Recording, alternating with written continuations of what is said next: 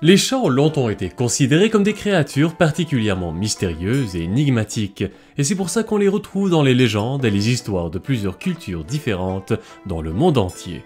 Dans certaines cultures occidentales, par exemple, les chats noirs sont associés aux sorcières, à la malchance et à la magie noire, tandis que dans l'Égypte ancienne, ils étaient vénérés comme des animaux sacrés et très proches des dieux. Dans le contexte de l'histoire du Japon, les chats ont également une réputation assez particulière, et c'est le yokai, connu sous le nom de Bakeneko, qui représente le mieux la nature mythique des chats dans la mythologie nippon. Si vous avez chez vous un chat qui a déjà un certain âge avancé, disons plus de 12 ou 13 ans, alors selon certaines croyances japonaises, il est possible que ce chat soit un Bakeneko. Un Bakeneko est tout simplement un chat à l'apparence ordinaire, mais qui a des origines surnaturelles. Dans le passé, une grande majorité de la population au Japon pensait que tous les chats étaient des Bakeneko, ou du moins que tous les chats avaient le potentiel de se métamorphoser en cette créature. Leur pouvoir se manifestait en raison de leur âge ou encore de leur taille ou de leur poids. L'âge exact de la transformation variait selon les régions, mais c'était généralement lorsqu'un chat dépassait les 7 ans. Dans certains endroits, il était même courant de se débarrasser des chats lorsqu'ils atteignaient l'âge de seulement 3 ans. C'est parce qu'il existe un proverbe japonais très connu qui dit Nourrissez un chien pendant 3 jours et il se souviendra de votre gentillesse pendant 3 ans. Nourrissez un chat pendant 3 ans et il oubliera votre gentillesse en 3 jours. Dans certaines régions, ce proverbe était pris littéralement et était communément cité comme une raison de ne pas faire confiance aux chats, surtout lorsqu'ils dépassaient l'âge de 3 ans. Les origines exactes du Bakeneko dans l'histoire sont assez difficiles à cerner, mais on pense que les légendes à propos d'eux ont commencé à émerger dans la période Edo, entre 1603 et 1868. Tous les chats de compagnie au Japon avaient été libérés suite à un décret pour contrer la population de souris qui mangeaient les vers à soie et donc menaçaient l'industrie du textile.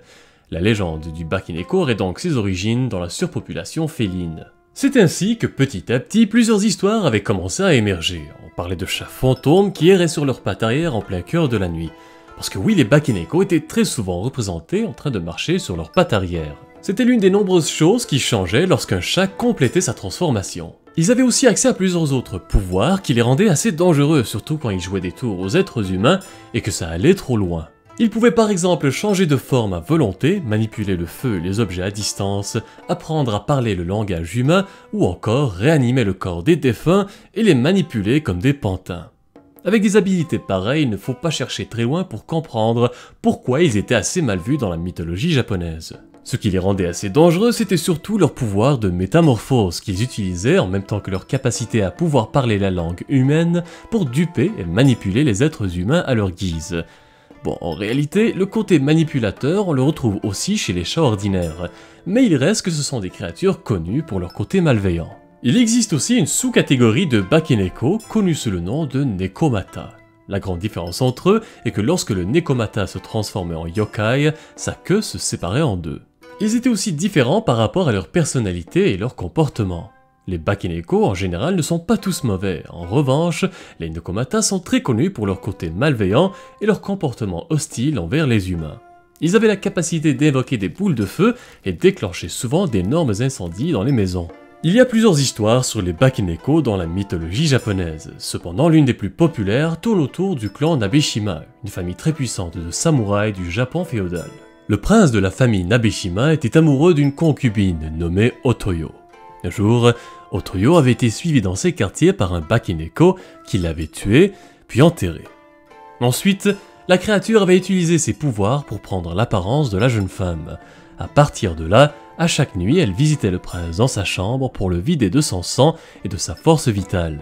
Après quelque temps, le prince, sans grande surprise, était tombé malade, et malgré l'arrivée et l'intervention de nombreux guérisseurs, son état continuait de se détériorer.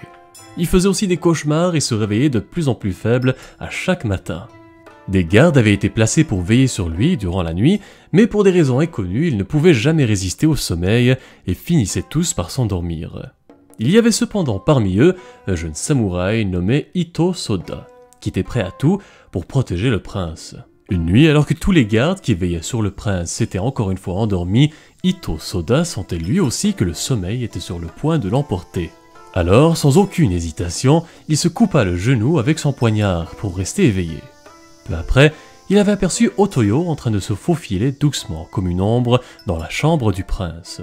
Il avait finalement compris que cette belle femme était en réalité un Bakeneko et qu'elle était à l'origine de la maladie du prince. Ainsi, après plusieurs jours et plusieurs nuits reposantes, le prince avait finalement commencé à se rétablir.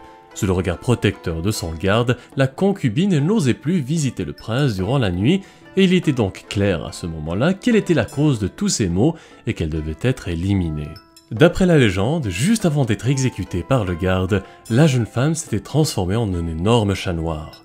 Des histoires comme celle-ci sont en fait assez communes dans le pays du soleil levant. Le chat est un animal particulièrement populaire dans la culture japonaise, et ce depuis des siècles.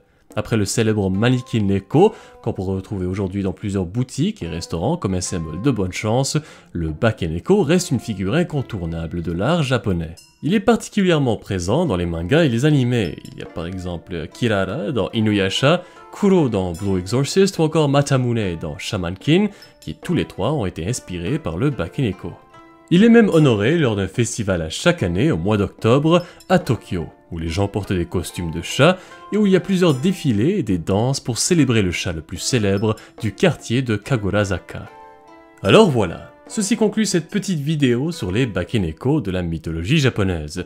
Si vous l'avez apprécié, n'hésitez pas à laisser un like, un commentaire et à la partager, c'est toujours très apprécié et ça aide à soutenir la chaîne. Sur ce, merci encore tout le monde et à très bientôt.